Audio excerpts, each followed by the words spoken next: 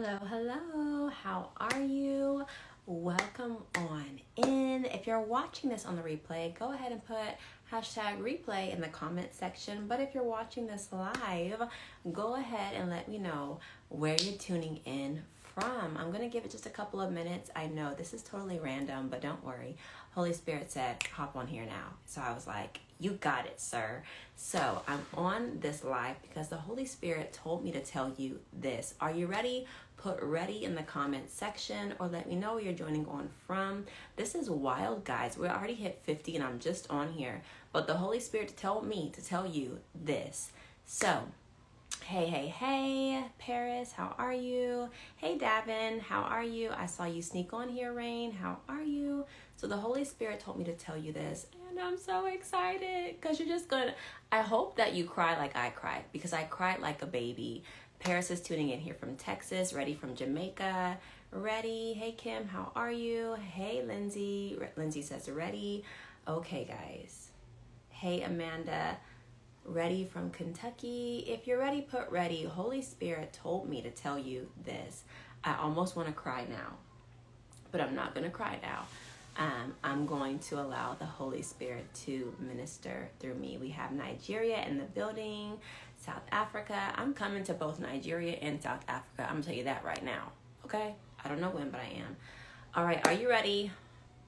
Are we ready? Perfect. So, how is everyone? I just feel like I need like some coffee. I'm just kidding. Let me stop. Let me stop. Hello, hello, hello. How are you, Mikala? North Carolina. Perfect. I've been crying all day too. God is so gracious. Stone Mountains. Ooh. Okay, so we're ready, okay? We're ready. So, yesterday, was that yesterday? yesterday, are you with me? It's going to be a little bit of a story time, but you're going to be blessed by this. Yesterday, I was driving in the car and um, I wasn't driving in my neighborhood. I was driving in a completely different neighborhood in a completely different city. And um, as I drove past this intersection, I saw a turtle. I saw like a little black object, and I was like, What is that? And then I drove past it and I saw that's a turtle. And if you know me, please don't come for me, but me and animals, we don't really get along. And so I was just driving. I was like, oh, that's a turtle. And I kept driving. And I don't know what in me told me to stop, turn around, and go get the turtle. But I was like, I guess I'm getting a turtle today. And not to keep it, but just listen to this whole entire revelation that the Holy Spirit wanted me to tell literally to you. Okay, so just put a turtle emoji in the comment section because a turtle. So I turned my car around and as I turned my car around, another lady had turned her car around and pulled over to the side of the road. There was another turtle, but on her side. So it's a two lane road. And on my way, I'm coming this way. And I was like, is that a turtle? And then the Holy Spirit said, turn around, get the turtle. So I was like, I'm going to get the turtle, I guess. And then the lady driving this way had stopped her car and put on her flashers because um, she saw a turtle. And so we both get out of our cars about the same time and she sees that turtle and she picks it up and i'm like oh wow an, a turtle. So she's taking the turtle over to the lake because there's two big lakes on each side of this um, of the road. And so she takes the turtle over to the lake and i go and i go get the other turtle. This is such a good revelation. So i'm going across the street across the intersection to get the turtle and this big black truck also saw the turtle. And so he stops his truck and he's like hey, I'm gonna keep my truck parked right here so you can go get it so nobody like in oncoming traffic hits you. And so he parks his truck to where I can go and get the turtle. And y'all, um, I'm a girly girl. So I was like, oh my gosh, a turtle, okay. So I go to pick up this turtle and I walk it across the street. And um, I walk the, the turtle across the street and it would I was gonna take it to the lake on the left side, but the guy said I think it's better that you take it to the other side um, where the other lady was. So there's two lakes, remember, and there's two lanes. Are you with me? You're with me. So I go pick up the turtle, which is, guys, okay, let me stop. I pick up the turtle and I give the turtle to the lady because my children are in the car. She's like, hey, I can go ahead and take that from you if you want. I can take him from you if you want. Is it a girl or a boy? And I'm like, it's a turtle. And so I give her the turtle and she's like, I just put another one over there and she takes the turtle from me and she's like, Oh, thank you so much. I'm so glad that you stopped and got this turtle. And so she takes it across the lake and she puts the turtle in the lake with the other one. All right. And so I get in my car and I drive down the road and I'm just driving. I'm almost to my destination and I'm just like, Holy Spirit, speak. And I kind of said it like, What was that about, God? And then he literally began to speak to me and I just began to cry like boohoo cry. So let me give you the revelation that comes along with this. If you're just hopping on here, um, hey Naday, how are you? If you're just hopping on here, I was driving down the road and I saw a turtle and I turned around to go get the turtle and I picked it up and I took it across the street and I gave it to a lady and she put it in the lake with the other turtle because she had seen a turtle on her side of the road. All right, so what is this revelation that literally just hit me like a ton of bricks? No, ma'am. It hit me like a ton of bricks. What is this revelation? I said, Speak, Holy Spirit. And he said, Baby girl, I'm just waiting for you to cross over. I got to say it slow so you get it. The turtle came from the lake on, on the left side. And the turtle had crossed the road and was on the side of the road and the Lord is waiting for you simply to move, for you simply to cross over. And He said, There is help on the other side. I just need you to cross. I just need you to do it. And so the turtle didn't know that I was the help. I just came and the Holy Spirit unctioned in me to go and pick up that turtle. And to top it all off, that truck had stopped in the middle of the road the truck stopped and he said, I'm going to stop traffic right now for you so you can pick up that turtle and you can take it across to that other lake. And so I went and I picked up that turtle. He stopped all of traffic. The Lord is willing to stop all of everything for you. He said, But baby, I need you to trust me just to cross over. And so that turtle crossed from one lake to the other side of the lake. And by the time it had crossed over and it was a curb, so picture road, median, road, lake. Lake, road, median, road, lake. And so that turtle crossed over to the other side. Didn't know how it was going to get up the median, I'm sure. But I came in at the right time, picked it up, and then I took it across. And he said, Not only am I waiting for you to cross over so that I can have your help come in and help you get to where you need to go, but I'll also position other help for you. And so I handed her, I handed the turtle off to the lady, and the lady gladly took the, the turtle over to the other side of the lake where the other turtle was.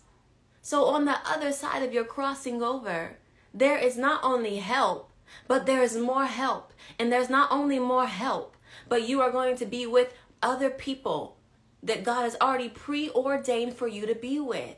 Man, when I tell you, baby crying, driving, like, you would do that for me? And God is just so good. Ah, I just had to get that out that wow, the revelation from just simply an act of obedience. And you guys know I love to talk about obedience. So, OMG, how could that happen just from a turtle crossing the road? Let me give it to you one more time if you're just hopping on here. I was driving down the road and I saw a turtle. So, picture this, you know, nice road, and there's a lake on the left side. Then there's a road of traffic coming this way. There's a median with trees in the middle. And then there's a road going this way. Then there's a lake on the other side. And so I'm driving and I see this turtle and I say, Is that a turtle? And I pull over and I'm like, Let me go get the turtle. So I go and get the turtle so that way it doesn't get crushed. And um, I pick it up. And at the same time, a lady on the other side of the road was picking up another turtle. So she took her turtle and came back. By the time I had my turtle, um, I or the turtle that I found, I gave it to her. She said, "Here, I'll take it from you." And she took the turtle and went and put it in the lake. Now, what is that beautiful revelation? Um, hello, Naomi. That beautiful revelation is the Lord is waiting for you to cross over. He's waiting for you to do the thing. You might not see where your help comes from, but you have to know that your help comes from the Lord. As I went to go pick up the turtle, a man in a big black truck stopped in the middle of the road. All of traffic so I can go safely pick up the turtle. and cross over with the turtle got carried. And that's the whole thing. Once you cross over, the Lord is carrying you.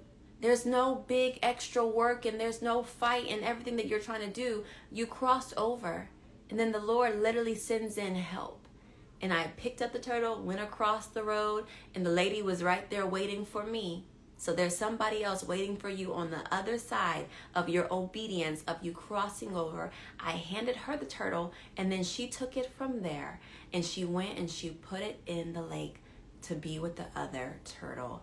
How beautiful. And the Lord would say to you, Baby, I'm just waiting for you to cross over. Son, daughter, I'm just waiting for you to cross over. I've already sent your help.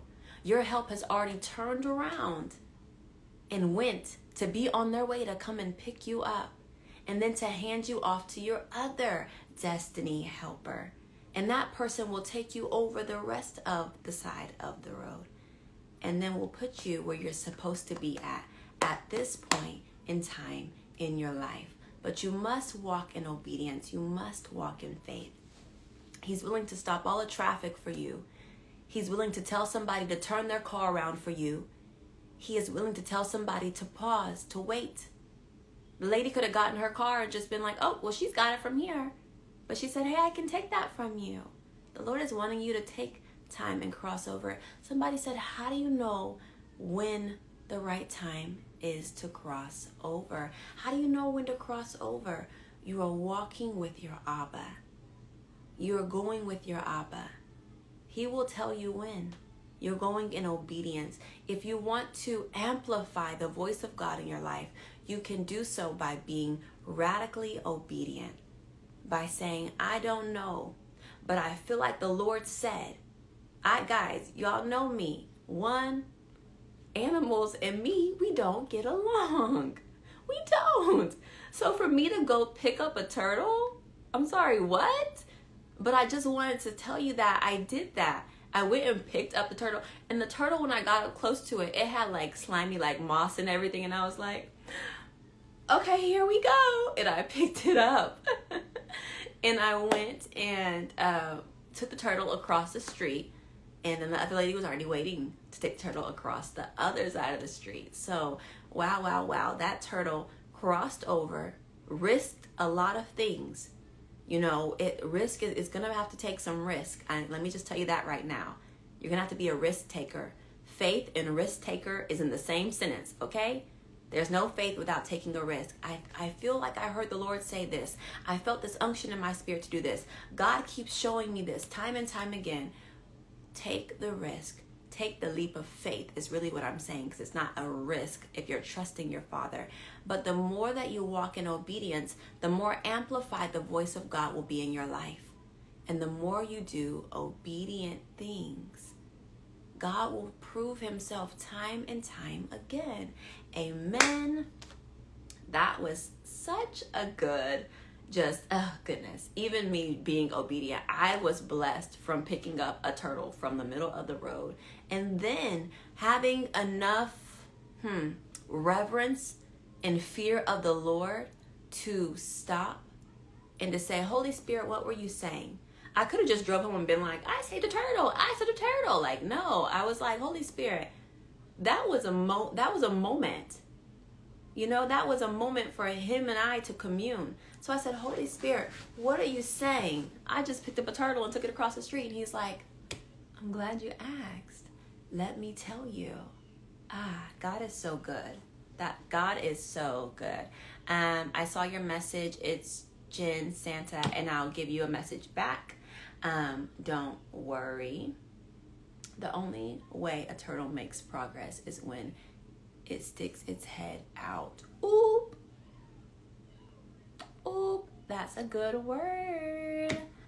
Huh? Look at that. Prophetic flow is flowing.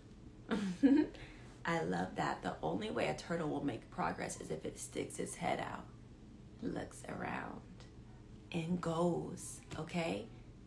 And the turtle could have been like, it's gonna take me all day to get across this street. And the God, the Lord, or the God, the Lord already had helpers lined up the Lord already had helpers lined up. Amen, amen, amen. So I was making this into a reel, and literally the Holy Spirit said, Go live right now. And I was like, Anytime I go live in the middle of the day, I promise you it's 15 people. Almost immediately, there was 60 people on here who I'm sure needed to hear this word. So, again, radical obedience. The more that you exercise the radical obedience, the more you will be um, training yourself to be sensitive to the voice of the Lord. Okay? So, I hope that blessed you. I, I am doing great, Ethan. How are you? Um, I'm going to go ahead and hop off of here. I don't feel the Lord saying anything else to um, to say right now, but Thank you so much for popping on here. If this word blessed you, just go ahead and put some fire emojis in the comment section if you felt like, yes, yes, yes, yes. You can put fires and turtles because God just used a turtle to speak to not only me, but to you. And so I'm going to go ahead and repost this. Um, everybody just go ahead and sound the alarm for sound the alarm raise up a shout a trumpet for Ethan. He said he recently turned Christian. Hallelujah. Just know, Ethan, that all of heaven is rejoicing over your salvation. Heaven is so excited and elated to know that you have made that commitment. What is the next thing that you can do, Ethan? You can my alarm went off. So sorry. What is the next thing that you can do, Ethan? You can go get baptized, um, go to church, and a church that does baptism, go get baptized. That is the full submission underwater to go down under and to be brought back up again. Um, so we're super excited for you, Ethan. After you get baptized, go and buy yourself a Bible. Buy yourself a Bible to celebrate. Hey, Tiffany, how are you? Um, we're sounding the trumpet. And hey, Ethan, we'll be praying for your parents right now. Let's go ahead and cover Ethan in prayer. He says, but his parents are still Muslim. We're going to go ahead and just cover him in prayer that he, in the name of Jesus, will not be disowned. That he, in the name of Jesus, he, in the name of Jesus, will retain his faith. So, Father, right now, we just lift up your son, Ethan. Father, we thank you right now for just letting him be on this live. We thank you, Lord, that your word says that one could put a thousand to flight, two, ten thousand to flight. So, Father, right now, every angel that has been assigned to Ethan's name, we're just asking, Father God, that you would set them on their course to be able to guard and protect his life. May a wall of fire be round about Ethan in the name of Jesus. Father, may it not be his story that anything happened to him because of becoming a Christian, but that everything right went right for him, Father, that everything in his mind was corrected, Father, that his footsteps were ordered, Father, because he has accepted you as his personal Lord and Savior. Lord, we're just praying for the salvation of his parents. That, Father, right now, you would be going in and sending his help, Lord, from the north, east, south, and west to be at his side, Father, that you would send people to begin to drop seeds and to water them in his parents' life to where they begin to go and see who is this man named Jesus? Who is the Messiah? Who is Christ. Father, we're praying that in his parents' spirit, he, they would begin to have dreams and visions of you, Lord Jesus, because your word says in Acts 2:17, in the last days you would pour out your spirit over all flesh, that your sons and that the sons and daughters would prophesy, the old men would dream dreams, and the young men would see visions. Father, may that be Ethan and his brother's portion, that they would see visions and have dreams, Lord, that they would give their life over to you, Father, that they would find a community of Christians that would welcome them, Lord Lord, and that you begin to minister to his parents by way of their dreams that Jesus Christ is the only way. He is the way. He is the truth. He is the life. And Father, nobody comes to the Father except by Jesus. So, Father, we thank you. We pray right now that Ethan would have his full armor of God on, that Lord, he begin to be fed um, through by way of your Holy Spirit and through the word of God, Lord, that he would not turn to the right or to the left, but he would keep his eyes fixed on you, Lord.